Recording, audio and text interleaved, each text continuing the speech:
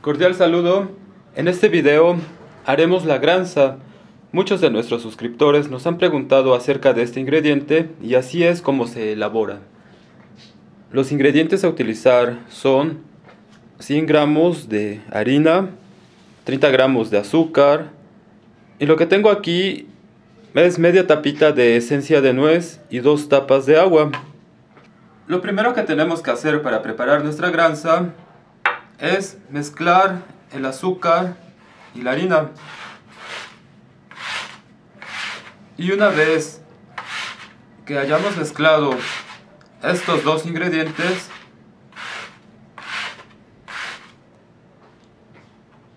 iremos agregando el agua. Un poquito. E iremos moviendo.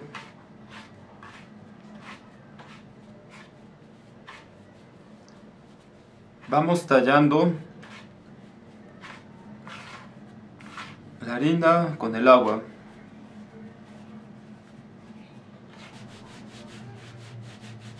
Así le tenemos que ir haciendo. Se tienen que formar una especie de grumos. A mi parecer le hace falta otras dos tapitas de agua. En este momento se las agrego. Ahí le dejo. Miren, aquí están las otras dos tapitas de agua.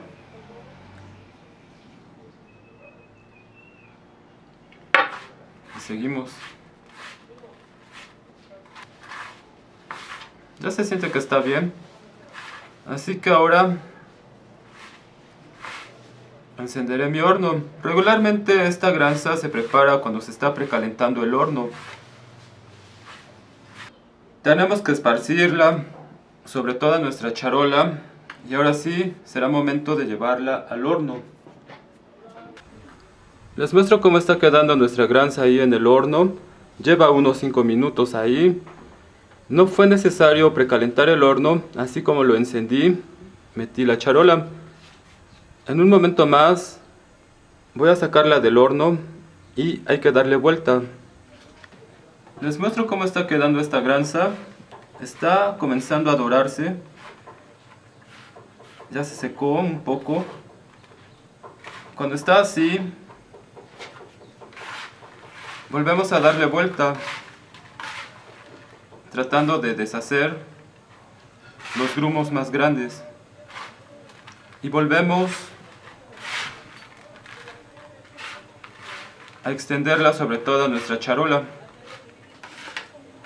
Esto lo haremos unas dos veces más hasta que se haya dorado toda.